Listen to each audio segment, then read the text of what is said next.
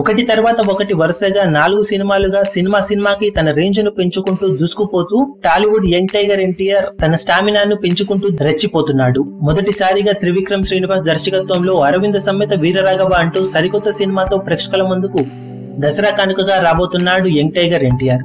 రెండు వేల పద్దెనిమిది ఇయర్ సెకండ్ హాఫ్లో వచ్చే బిగ్గెస్ట్ మూవీగా చెప్పుకుంటున్న అరవింద సమేత వీరరాఘవ అఫీషియల్ టీజర్ రీసెంట్గా రిలీజ్ అయి అద్భుతమైన పాజిటివ్ రెస్పాన్స్ను సొంతం చేసుకుంది. దాంతో ఒక్కసారిగా సినిమాపై ఉన్న అంచనాలు పెరిగిపోగా బిజినెస్ ఆఫర్స్ కూడా ఓ రేంజ్లో పెరిగిపోతున్నాయి. మరీ ముఖ్యంగా ఎన్టీఆర్కి కంచుకోటగా భావించే రాయలసీమ ఏరియాలో ఈ సినిమా ప్రీ రిలీజ్ బిజినెస్ ఓ రేంజ్లో జరుగుతున్నట్లు సమాచారం. ఇది వరకు పదమూడు కోట్లు పద్నాలుగు కోట్ల రేంజ్లో బిజినెస్ జరుగుతుందని వార్తలు వచ్చినప్పటికీ ఇప్పుడు అఫీషియల్గా పద్నాలుగు పాయింట్ ఐదు కోట్ల ప్రీ రిలీజ్ బిజినెస్కు సినిమా అక్కడ అమ్ముడుపోయినట్లు సమాచారం. ఇది ఎన్టీఆర్ కెరీర్లోనే కాకుండా Tollywood చరిత్రలోనూ one of the biggest pre release బిజినెస్లో ఒకటని చెప్పుకోవచ్చు. భారీ అంచనాలతో రూపొందుతున్న ఈ సెన్సేషనల్ మూవీ దసరా కానుకగా ప్రేక్షకుల ముందుకు రానుండగా ఎన్టీఆర్ ఈ సినిమాతో ఎలాంటి సెన్సేషన్ రికార్డులు నమోదు చేస్తాడనేది ఆసక్తిగా మారింది. యూనిట్ వర్గాల నుంచి అందుతున్న సమాచారం ప్రకారం సింహాద్రి తర్వాత ఓ రేంజ్ మాస్ కంటెంట్ ఉన్న సినిమాగా అరవింద సమేత సినిమాను చెప్పుకోవచ్చని చెప్తున్నారు.